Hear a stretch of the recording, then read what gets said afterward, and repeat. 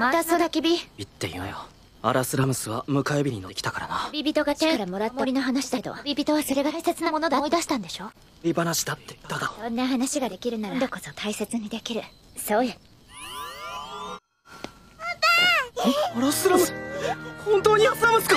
そういうことだから。なんかつがなかった。ら初めてやろう思ったけどスラムスパパ会いたいって。いう仕方なくちょっとなんか泣いてんの？どこが痛い？